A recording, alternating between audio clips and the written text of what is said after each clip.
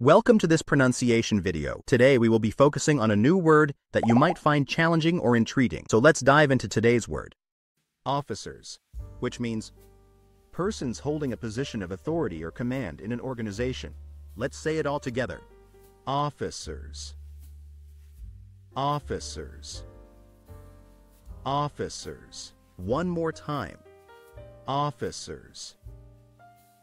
Officers. Officers. Thank you for joining us on this adventure in pronunciation. Remember, language is a journey, not a destination. Keep exploring, experimenting, and expanding your linguistic horizons. We'll see you next time.